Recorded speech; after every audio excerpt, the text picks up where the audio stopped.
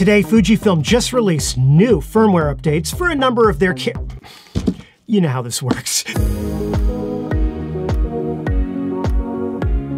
Hi everyone, welcome to Pal2Tech. So today, Fujifilm released firmware updates for the following cameras. The GFX 100 and 100S, the 50S2 and 50R, the XH2S and XH2, the XT5, and the XS20. Some of these updates today are important bug fixes, but the one for the XS20 in particular does look interesting. However, let's start now with the GFX lineup. The GFX 50R and GFX 100 both get a considerable number of updates time around, and most notably to support the brand new Fujifilm app. What's that you say? Fujifilm has a new app? Yes, there is. And I have a way too long video on every single aspect of that app. And it is great that both of these GFX models will now support the new app. There's also a number of menu changes for those GFX cameras, in particular to better support the new app, as well as improvements to the camera's Wi-Fi. There's also a number of bug fixes for the GFX lineup in general. If you use the GFX 100 or 100S for astrophotography, then you're gonna wanna check them out. Same thing if you use the 20 to 35 millimeter f4 lens with the GFX 100, 100S, and 50S2 as they have improved the camera's handling of that lens. There's also also additional bug fixes for those cameras as well, and I will leave a link to the update page where you can read all about the GFX camera updates in more detail. The XT5, XH2, and 2S cameras only get bug fixes this time around, unfortunately. The main one is a fix for what Fujifilm says, brightness of the subject rarely gets dark momentarily when shooting a movie with Mode S. I'm assuming they're talking about the focus mode setting to S on the camera and not the PASM dial that are on the XH2 and XH2S cameras, but I'm not 100% sure.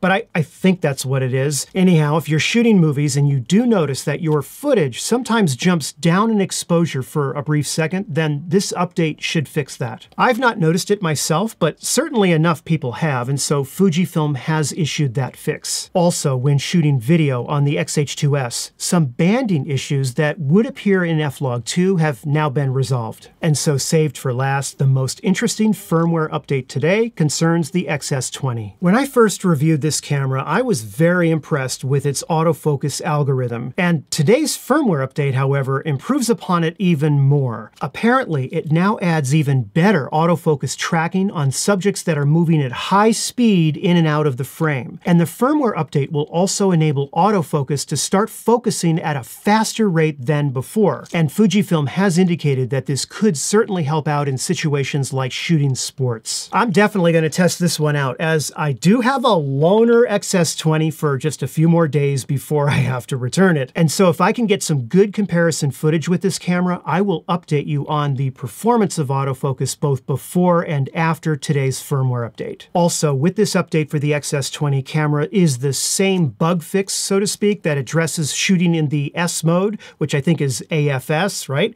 Where the exposure jumps down in exposure for a brief moment while you're shooting shooting video. If you've noticed that problem when shooting on an XS20, be sure to get today's update. So overall, today's firmware updates do go a bit beyond the typical bug fixes, especially with the XS20 camera, and it is great that support for the new app has been addressed for the GFX 50R and the GFX 100. As far as getting the firmware updates, I will leave a link down below in the description of this video where you can access all of the information that I've discussed today. If you're planning on updating the firmware of a Fujifilm camera that already supports the Fujifilm app, you can definitely use the app and update the firmware on your camera right from the app. If you want full details on how to do this, see my full video breakdown of the new app and how to update the firmware on that. Yes, I have a table of contents where you can jump right to that part of the video where I talk about updating the firmware. And you can also use the method I prefer, which is the SD card. You put an SD card in the computer, download the firmware to the SD card, put the SD card in your camera, press and hold the DISP back button on the back of the camera while you turn it on, and go from there. Unfortunately, there aren't any updates at this time for the older Fujifilm camera models, and I really do hope that that will be addressed in the next round of updates. Until then, I will leave a link down below in the description of this video where you can learn about and download today's updates. Thank you for watching today, and I'll see you very soon in a new video.